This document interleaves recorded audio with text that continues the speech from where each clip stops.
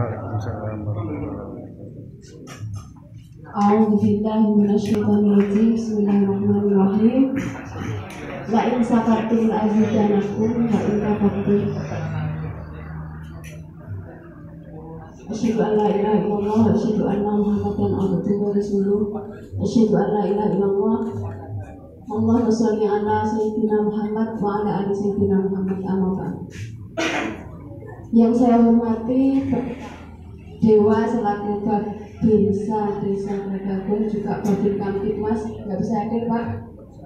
Yang saya hormat eh, Bapak Zainul Futur beserta Nyonya selaku ketua dari Jatirejo Ektor juga selaku Sohibul Bed yang saya hormati mas-mas dari Taruna yang di uh, Dewa Sali di sini juga Alhamdulillah yang saya hormati teman-teman trailer dari berbagai desa di eh, tetangga desa kami dan rekan-rekan JAT serta ibu-ibu semua yang saya banggakan.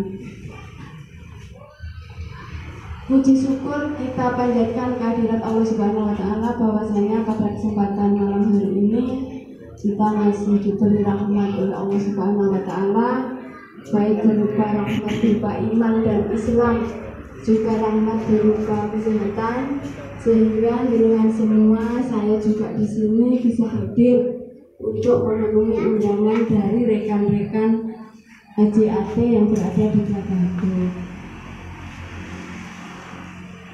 Bapak-bapak, mas-mas juga mbak-mbak yang saya hormati. Pertama, eh, karena ini alhamdulillah masih dalam nuansa Idul Fitri, saya selaku pribadi, keluarga juga mewakili Pak Yuk. Juga mungkin secara umum saya bagian dari pemerintah desa Gragagung.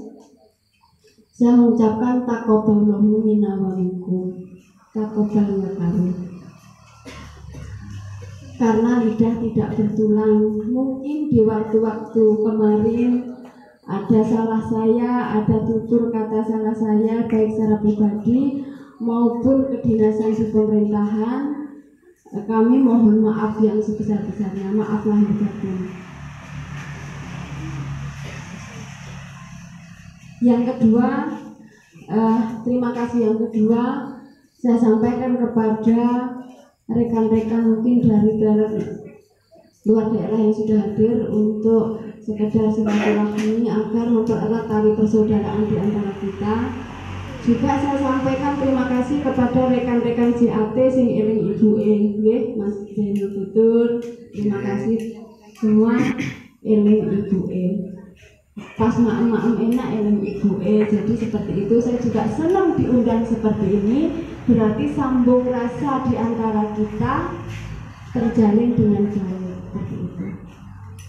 Saya pun selaku pemerintah desa mengharapkan kerjasama yang baik antara pemerintah desa sama stakeholder di wilayah desa Ragagung karena bagaimanapun juga JAT juga salah satu stakeholder uh, dalam bidang kemudaan. Jadi seperti itu. Yang kedua, mungkin alhamdulillah situasi pada saat ini sudah mulai sur uh, baik. Seperti jenengan sudah ketahui bahwa alhamdulillah kemarin-kemarin kita dibatasi oleh banyak sekali hambatan baik itu untuk kita berkumpul, untuk kita beribadah, juga untuk kita bersilaturahmi. Alhamdulillah new normal sudah diberlakukan. Jadi di sini saya meminta bantuan juga untuk rekan-rekan dari JAT mungkin bisa memberikan edukasi atau pendidikan kepada masyarakat bahwa new normal ini bukan uh, istilahnya bebas betulan. Jadi tetap harus uh, mentaati peraturan agar nanti normal bisa menjadi normal seperti itu.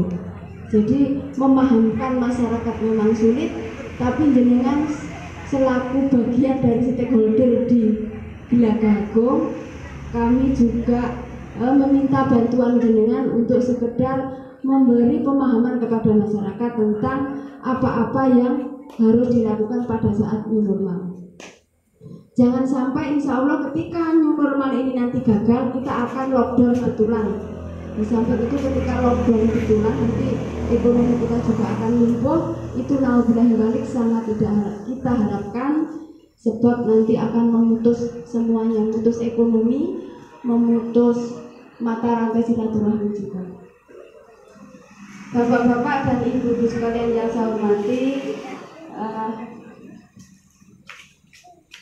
perlu saya sampaikan ini sedikit kaitan sama uh, mungkin desa yang perlu saya jelaskan sedikit. Jadi begini, ketika sekarang ini kita akan dihadapkan pada situasi seperti ini. Desa tahapan ADD sudah cair tapi belum bisa memulai pembangunan karena memang uh, dananya masih untuk COVID. Jadi seperti itu. Jadi nanti pemahaman itu juga sampaikan biar tidak terjadi kesalahpahaman. Bapak-bapak dan ibu yang saya hormati mungkin kiranya itu yang bisa saya sampaikan ada kurang lebihnya saya mohon maaf uh, nanti mungkin disambung oleh Bapak Dewa. Harapan saya pertama monggo tetap kita jalin silaturahmi antar desa, antar rekan-rekan sekecamatan, mungkin trailer di luar desa kita akan terjadi ukhuwah Islamiyah yang bagus. Sekian sambutan saya, ada kurang lebihnya saya mohon maaf. Saya akhiri Albiru Manitako. Assalamualaikum warahmatullahi wabarakatuh. Waalaikumsalam warahmatullahi wabarakatuh.